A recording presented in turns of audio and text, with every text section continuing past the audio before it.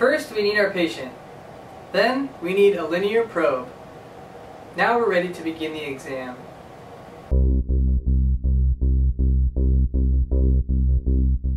Hi, I'm student Dr. Quinn and welcome to Ultrasound Advice. Today we're going to be talking about ocular ultrasound.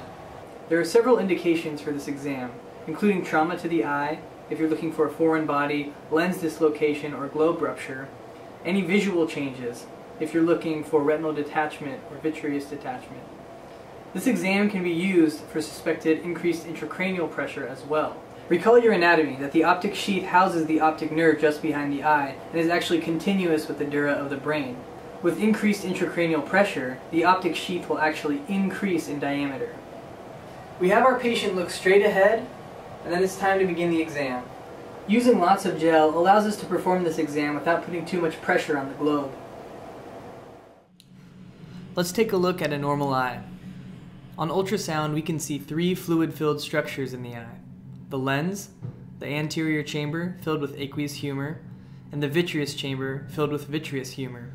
The retina is the layer of cells at the back of the eye that allows us to see, and the optic sheath just behind it contains the optic nerve and CSF. To assess for increased intracranial pressure, we measure 3 millimeters behind the retina and then measure the diameter of the optic sheath.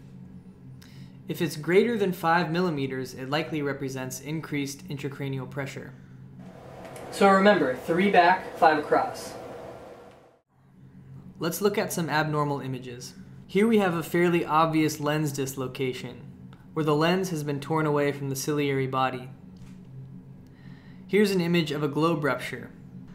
You'll notice that it isn't a nice round globe shape, and that the anterior chamber has almost completely collapsed. These two images are of retinal and vitreous detachment. I'm showing them side by side because they can look a lot alike.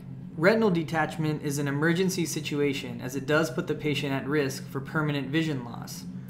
Vitreous detachment is not an emergency, as it's normally not sight threatening. It's also a much more subtle finding on ultrasound. Retinal detachment has a much thicker membranous appearance, while vitreous detachment kind of looks like a spider web.